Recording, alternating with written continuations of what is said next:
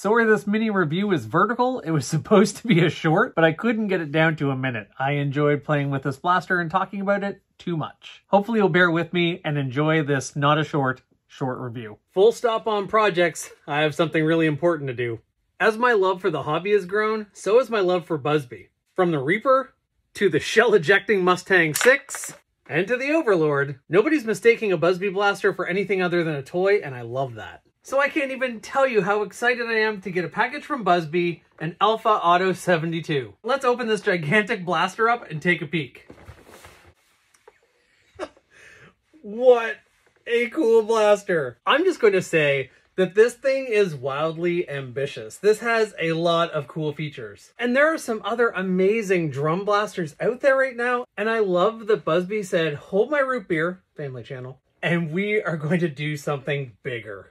We have a removable stock, built-in foregrip, gigantic handle, this huge 72 dart drum. It probably took me two minutes to load. We gotta try it out. Two-stage trigger? That's nice. That means when we start to pull the trigger, it revs, and as we pull more, the drum rotates.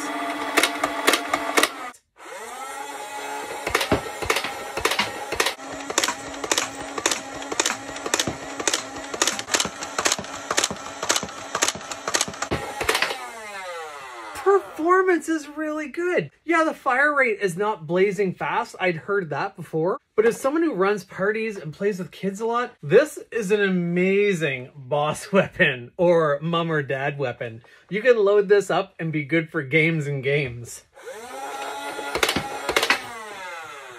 I really like this.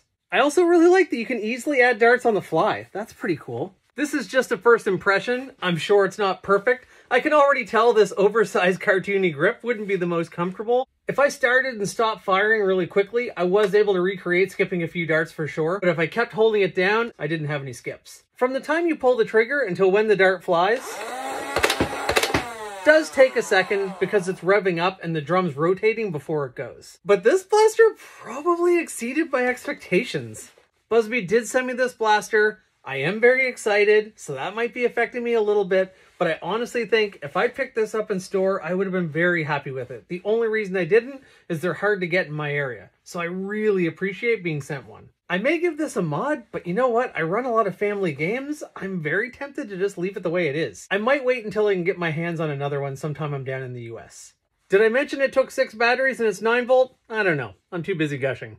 Stay tuned for more about this blaster. I might open it up, Follow me on YouTube to see if I do that. They also sent me a Blitz 6, so you'll be hearing about that too. I love it. For under 30 bucks, as long as you're not a super serious player, this is a fun blast.